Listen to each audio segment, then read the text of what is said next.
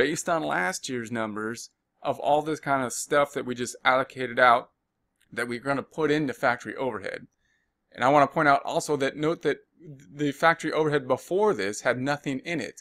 And that's just to point out that we could do this allocation. That's why we base it on last year's numbers and that's why it's an estimate because we want to be able to allocate it out before maybe there's even stuff in the factory overhead because it's going to even out at the end of the time period and we'll have to make an adjustment for it. So, so that's why we have to make the estimate kind of based on last year's numbers. We actually have negative factory overhead. We allocated stuff out before we recorded the factory overhead in this case. And so now we have a negative factory overhead, kind of like negative inventory. We're going to put the stuff in the factory overhead uh, in the next few journal entries, and then we will end up with something close, hopefully, to zero. It should go into factory overhead and then out of factory overhead, or in this case, out of factory overhead and then into factory overhead. But it should even out by the end of the time period. And so we're putting it in there, and then the other side is going in here in the work in process. So we're putting it into work in process. Here's work in process. What's in work in process now? Remember, this was direct labor. This, I mean, this was direct material. This was direct labor. This is factory overhead. And we're going to have to then allocate that, of course, to the job because we hit the work in process. We need to back this number out by job. Here's how we're going to back it up over here. Now, uh, how we calculating this, we're saying direct labor. So in this case, direct labor total was this 218 we did last time. 218 times 0.5. That's how we're coming up with the 109 total. If we want to break it out by job, then we're just going to say, okay, here's the direct labor, the 30,000 times 0.5. That's our 15 for job 14. And then we're doing the same thing here, the 120 times 0.5, that's the 60,000 here. And then the 68,000 here, 68,000 times 0.5, that's the 34,000. Now remember, these numbers don't have anything to do with labor. But we used labor in order to see how big each of these jobs are relative to each other. So you notice that this one had labor of 120. The rationale being that we should allocate more to this job based on the fact that direct labor is higher because that would indicate that it's a bigger job. Therefore, uh, we allocated uh, more overhead, 60 to here compared to 15, which had much less direct labor. These two aren't directly related. This direct labor indicates the size of the job and therefore the allocation method for the factory overhead. All right, so next time, indirect labor paid and assigned to the factory. All right, indirect labor. So we're going to debit factory overhead, we're going to credit cash. These are going to be the types of things that we're going to have to put into factory overhead, which we already allocated out uh, before. So the factory overhead, what, indirect labor, once again, we're going to think about payroll here. This is payroll happening. Uh, we're not thinking about payroll taxes.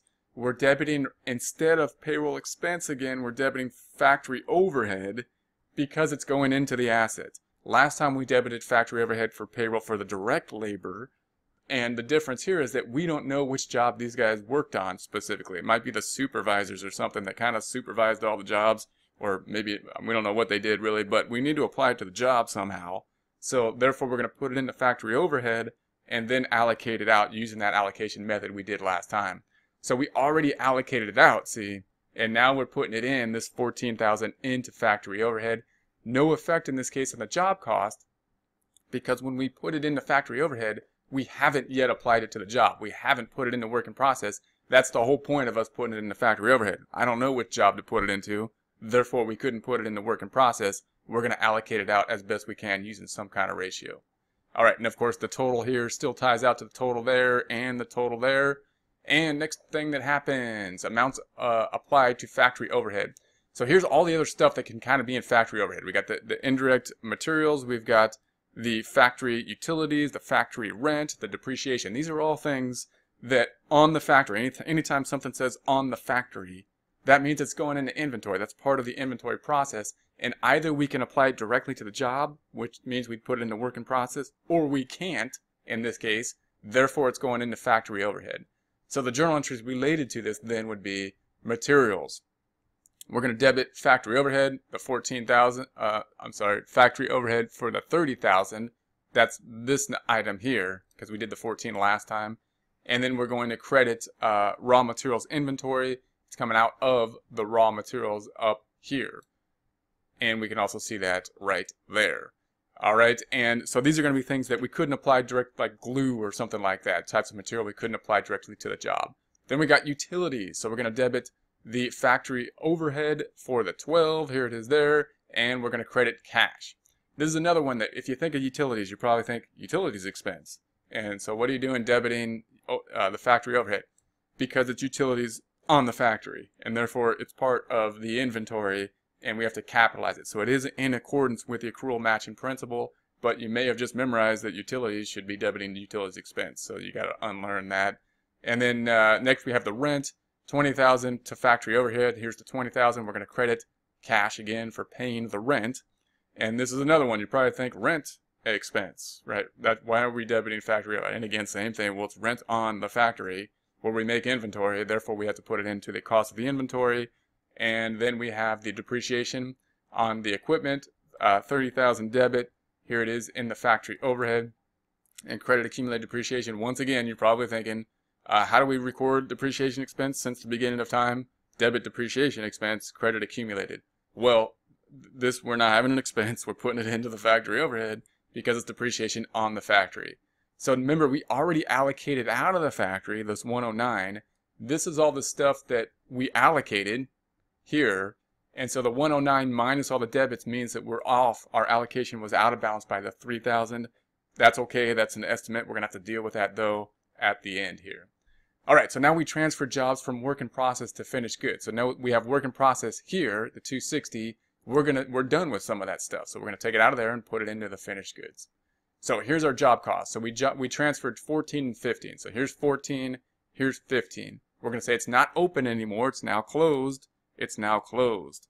So if we take out the calculator here, we're going to say that the two jobs that we have are this 186,000 plus the 314,000. Those got allocated out 500,000. Those are allocated out. What's left, just the yellow account of 260, 260 that's what's going to be left in work in process. This and this are going to be allocated out to the 500. How do we do that with a journal entry?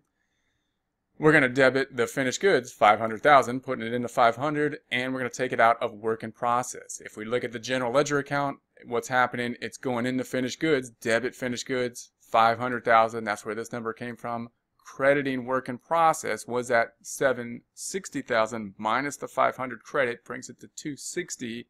There's the 260. These need to be backed up by the job cost report as they are here.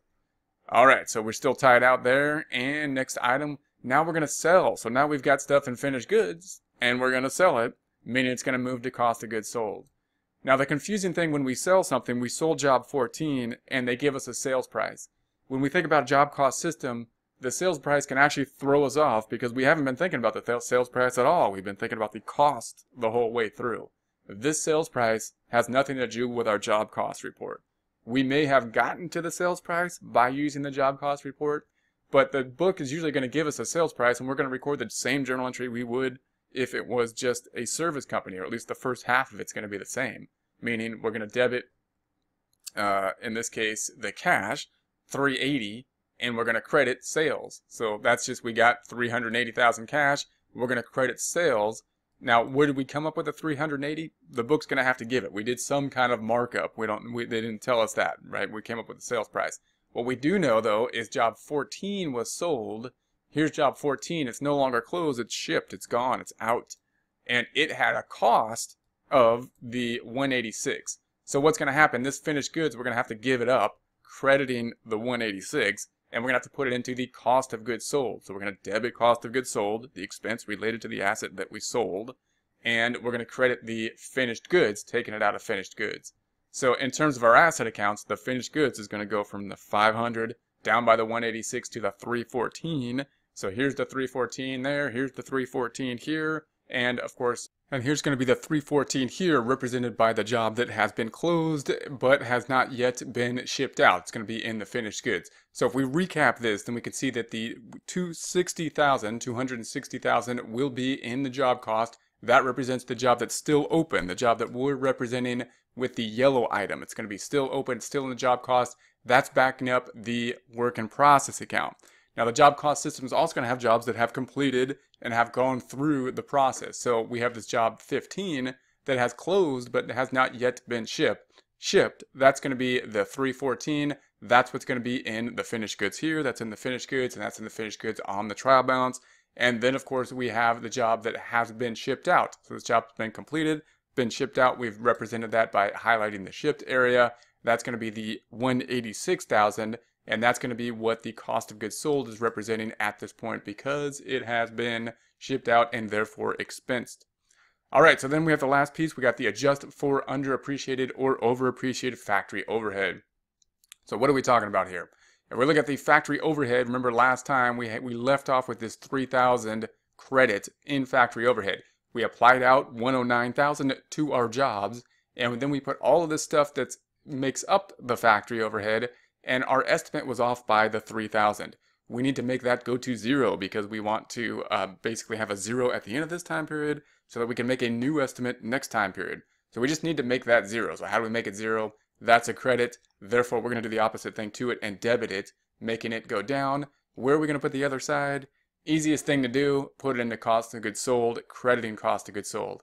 Now you might be saying, well, that's kind of funny because cost of goods sold is a debit balance and it's an expense account why would we be crediting it? We don't normally credit cost of goods sold. And the reason is because uh, it's a small amount. Hopefully it's immaterial. We're doing this because the estimate was off. It's going to be off because it's an estimate. And we need to, to take it down somewhere. If it's immaterial, then taking it to cost of goods sold is the easiest thing to do because cost of goods sold is something uh, that will then close out to retained earnings. Unlike some of the permanent accounts, all the permanent accounts which would not close out, Therefore, once it closes out to retained earnings, it'll be gone, and that'll allow us to basically make a new estimate next time uh, from scratch, from fresh start. So that's going to be the idea. Now, if it was significant, if it's a large amount, then we may have to do something else. But if it's insignificant, meaning it's not going to affect our decision making, then it would seem appropriate to just put it to cost of goods sold, sold that being uh, the easiest thing to do. Also, just note that if, if we happen to have gone the other way, meaning that we ended up with a debit of like 3000 we would do the same thing. We would make it go to zero. We're going to do whatever we need to do to make it go to zero. And in this case, it would be that would be a credit to make it go to zero, and then we would debit cost of goods sold. Once again, doing whatever we need to do to make it go to zero, as long as it's an immaterial amount. No effect on the job cost system of this. We still have the 260 tying out to the 260 because the factory overhead. We're just dealing with the factory overhead, not the work in process, not the finished goods at that point.